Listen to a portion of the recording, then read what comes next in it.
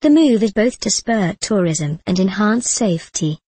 It'll soon be much easier to share your selfie on Mount Fuji, Japan's tallest peak. Officials in the local prefectures are installing free Wi-Fi for all hikers, an initiative designed to spur tourism on the iconic mountain. The program is specifically aimed to encourage hikers from Europe and the US to share experiences on the 3,776-meter volcano through email and social media. There will be eight Wi-Fi hotspots in the vicinity, reports local daily Asahi Shimbun. Overseas visitors have been increasing on the mountain in the past year, with between 40,000 and 50,000 tourists hiking along its trails.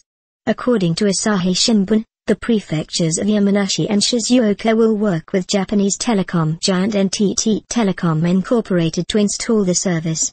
They then plan to hand out around 70,000 brochures to hikers with login instructions. An official at the prefecture's tourism division told the newspaper that the Wi-Fi wouldn't just be there for promotional purposes, it will also allow hikers to obtain weather and other information to ensure their safety. But slow hikers best beware, the service will only be available for 72 hours at a time.